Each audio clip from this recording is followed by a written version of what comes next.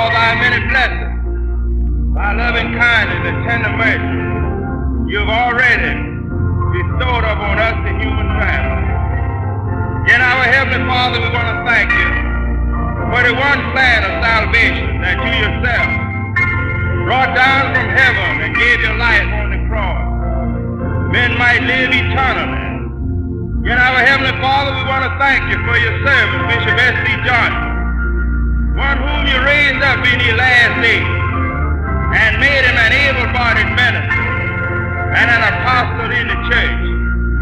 We thank you for this great man of God, how you have led him and how you have instructed him, guided him, given him wisdom and knowledge to do great works for thy name's sake. We want to thank you for this great temple, how you have given him the knowledge to build it, brought it about for your great name's sake. We thank you, Lord, this morning for the faith that you have instilled within him. Pray that you'd ever bless this great man of God. Bless the way in which he goes. Bless the soil that he tread upon.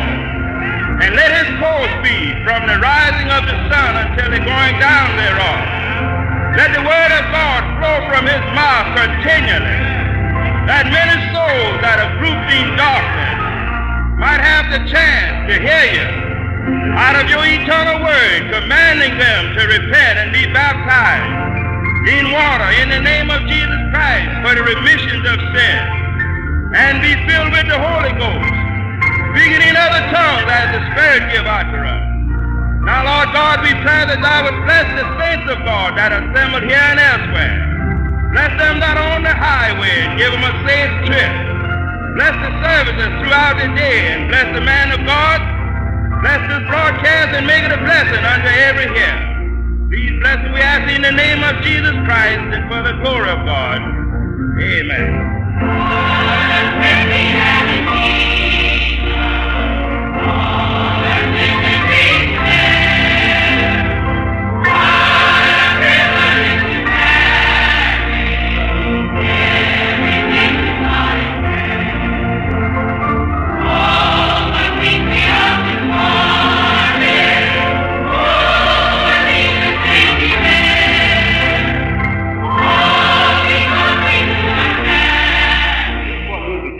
Wants to express its appreciation toward all the fellow workers at the Beck's Bakery that helped make this trip possible up here at the Young Summit today. Now a selection from the Radio City Choir singing The Gates of Hell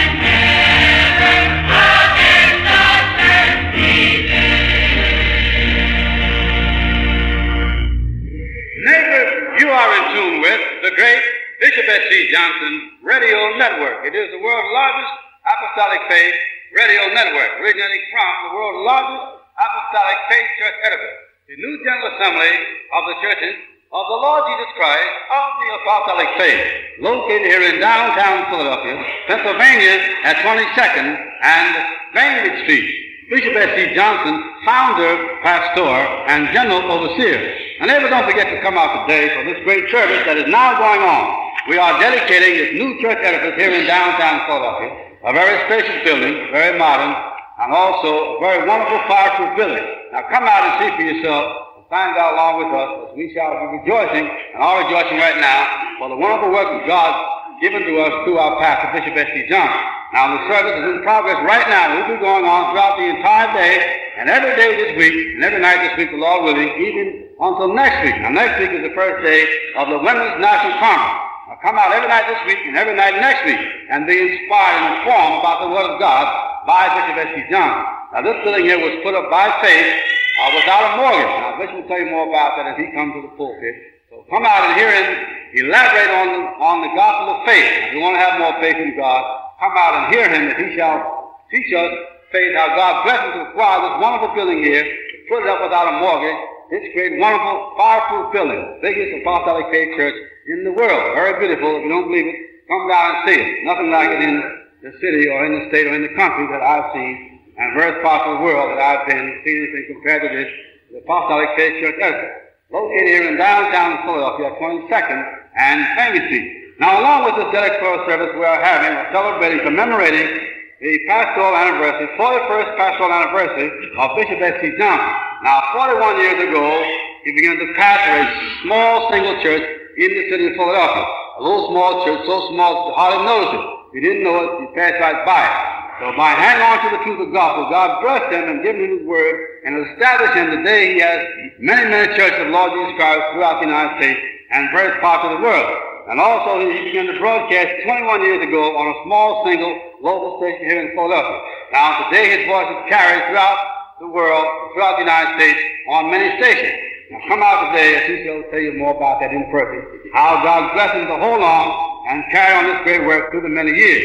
Now this service takes place today, is now going on. The morning service, 11 a.m., the evening service at 7.30 p.m. Now the mission is free to all. Come early and get a special seat so you can hear and see what's going on here in downtown Philadelphia. Now come out through the entire week, every night, and also on next week, there will be day sessions next week, and also night services on next week.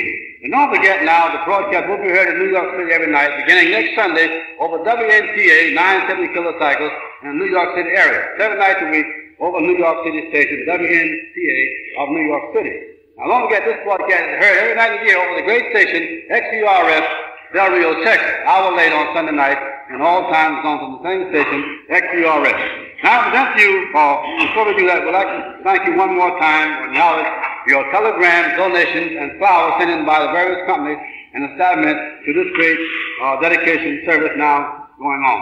Bishop Johnson, thank you very much, and also speaking for the entire church and group and staff of this church. now, we present you from the new church edifice here in downtown Philadelphia in person, the Honorable Bishop S.C. Johnson, the world's foremost minister, Bible analyst, and authority on the divine inspired Word of God. On this great occasion, Bishop S.C. Johnson.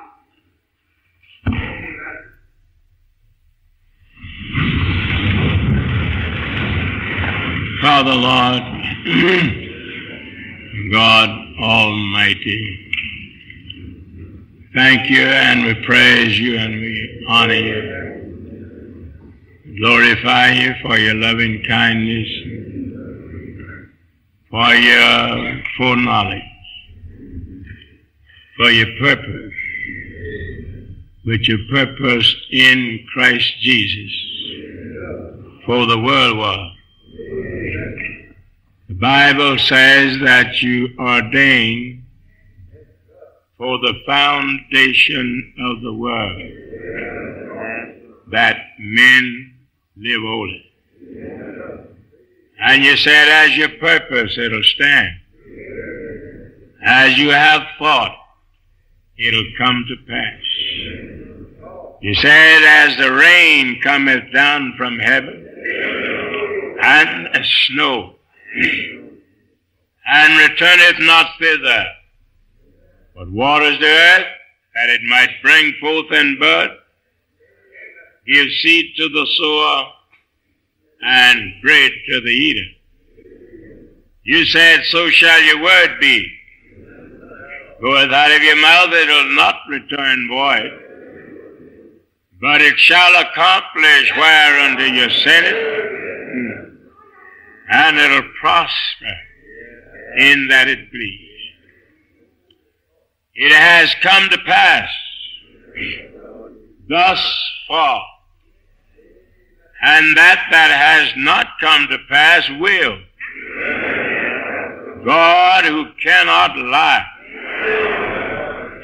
Thank God. Said these things. We're glad for your mighty hand, for your wonders. Thank God that is wrought in the earth, so that men and women will know there is a living God, that you ordain that they live holy. And you brought about your purpose, even though the devil, sin, was cast out of heaven.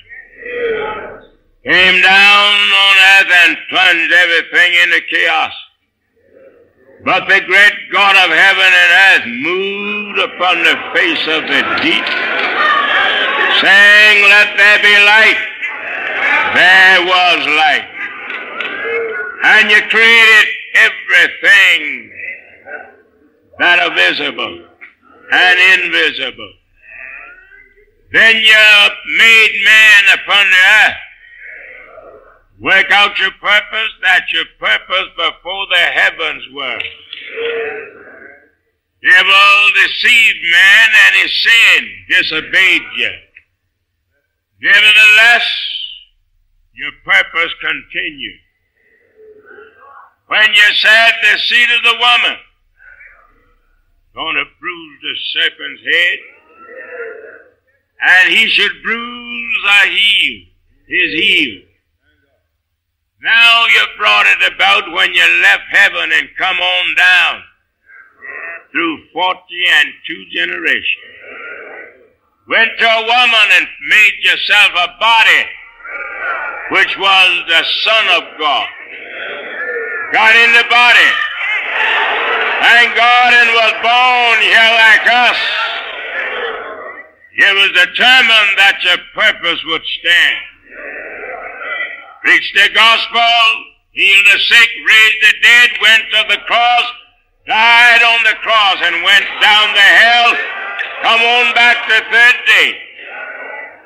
Went to the apostles and gave them the gospel told them to go into all the world and preach the gospel to every creature. He that believeth and is baptized shall be saved. He that believeth not shall be damned. It was published throughout the world. For the Apostle Paul said it was preached to every creature. Thank God that was under the heaven. But according to the prophecy, which had to be fulfilled. Darkness was going to cover the earth. When the apostles ceased, that was fulfilled. And gross darkness to people. But you said at evening time, hallelujah, to God that shall be light. And you, who knows everything. Thank God kept me back and in due time formed me in the womb. Thank God that your gospel might be continued when the light comes back to the world. The gospel that was preached by the apostle. And you kept us and brought us Thank God to where we are. Charged us to preach the gospel. Give it to us and has stood with us. haven't failed us, neither had you forsaken us. But your blessing has been great, as you told us. Thank God in a message years ago of the increase of his government and peace there shall be no end. On the throne of David upon his kingdom to order it and establish it henceforth and forever. The zeal of the Lord of hosts shall perform this. It was your mighty hand that touched us and moved on us to visit the different states and to contact the people. Thank God with the eternal word of God that fell into the heart of the hearers, those that were waiting for truth, those that longed for truth, those that desired the light of the gospel.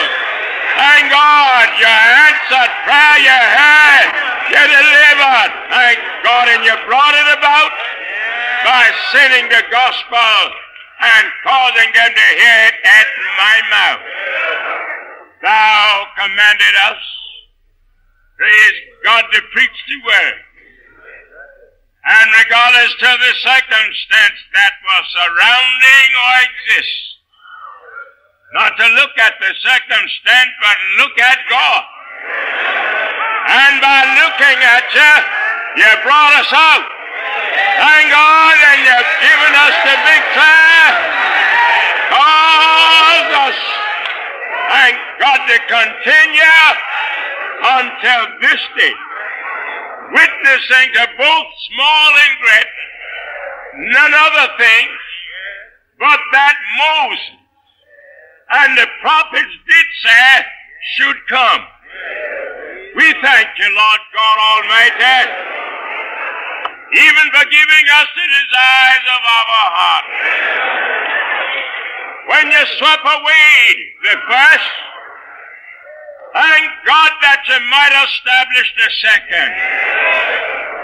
When our enemies rejoice, yeah, but it's written. Rejoice not over me, oh my enemy, but though I fall, yet shall I rise. Helped us, you guided us, you kept us. Thank God it enabled us to rise again and come back, thank God, in full force that we might continue to the prayer council.